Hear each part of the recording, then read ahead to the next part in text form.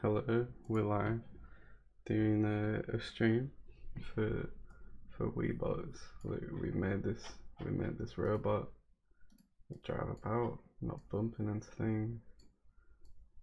Look at him go. Okay, so we're set him back. What we're gonna do is uh, add a radar to this robot. We're then gonna copy and paste them, so we have a lot of robots and we're going to have a controller that helps them play a little game of tag. So what we're going to do is come to our come to our robot, go to our rangefinder, add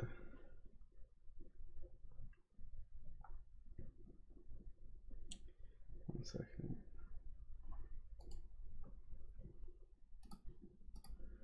Business radar. Then uh, we're going to rotate it by pi. We're going to put in 0.04 meters in the air. Okay, uh, come down to min range 0.1, max range 1.5 horizontal field of view. 1 vertical field of view. 0.3 uh, that's it. That's our radar is finished. Uh, if you go to uh, view optional rendering come down to I thought it was here. Ah yeah radar you see our, our little radar coming out the front Okay, so come over here, copy and paste, oh wait, yeah, copy and paste the robot.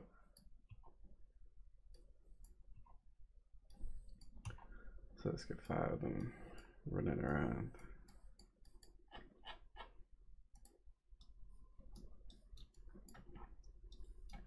Okay, and the other thing we need is another robot.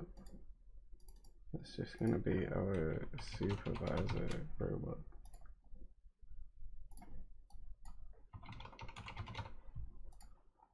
And we have supervisor enabled. So now we need to change the the robot code to include the radar. So uh, this is our code from before what we're going to do is just like we read the pixels of the data image we're going to scan the radar for targets. It will then tell us the distance from the robot as well as the the angle away from the, the midpoint of this field of view. Uh, we're also going to add uh, an if statement here at the at the forward um, statement. So if it if it goes forward, it's then going to check if it can see anything, and it will then drive towards it. So I've already written the code here. So this is altering the speed by the angle. So it will move relative to the target, where the target is. So if we go to our supervisor robot, come down to controller, select our supervisor controller. Um, this controller essentially uh, it finds any node on this scene tree. If it has the name wheelbot then it, it will remember it's one of the robots. It then picks number one and sets that as the tag robot. So the way the radars work is they will uh, report back anything with the radar cross section value set to 1. So anything within here that has a radar cross section will be detected by the radar. Uh, we do not want our tag bot detected by the radar uh, so that he's not the one being followed, he's following everyone else. This gets the distance calculates the distance to find which target is closest. Um, if the target is within a certain distance and it's been five seconds since a robot got tagged, then we will switch the radar cross section from this robot to this robot so that this one's now the tag robot. Uh, let's just delete these robots for now. Go under this wheelbot and change this controller to the radar controller. And then we can copy and paste them.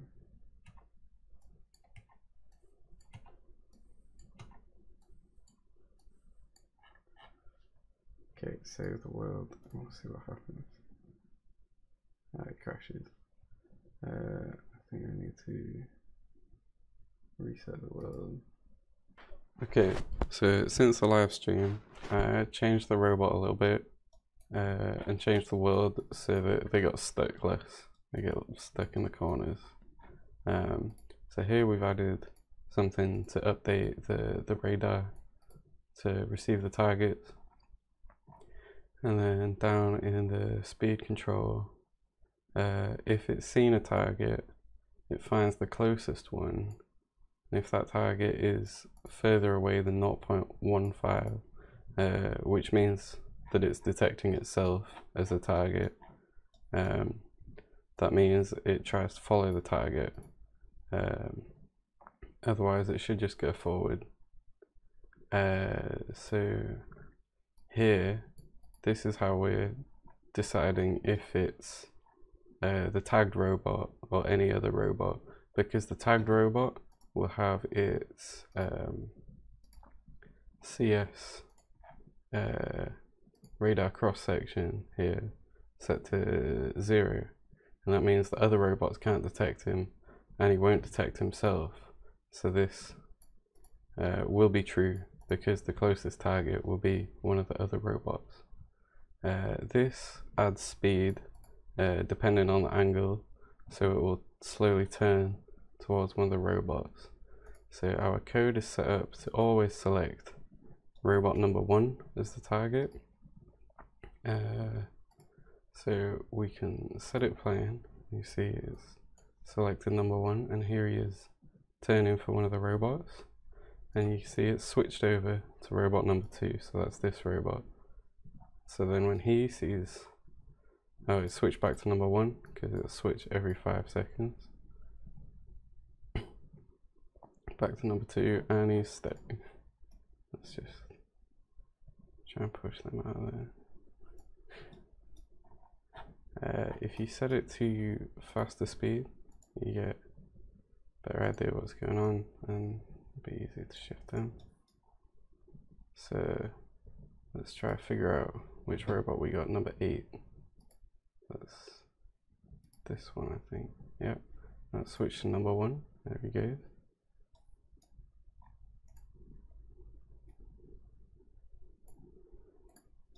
So you can just shift the blocks a little bit while it's running, just to keep them moving.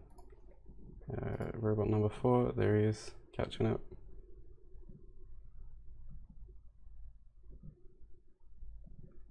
number three. Now he's in front.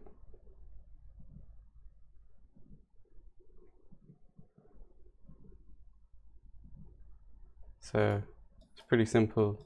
You can add as many robots as you want. You make the arena as big as you want. Uh, you could even edit the code to have two robots tagging uh, if you would like. But that's all I've set up. That's all there is to see. Thank you.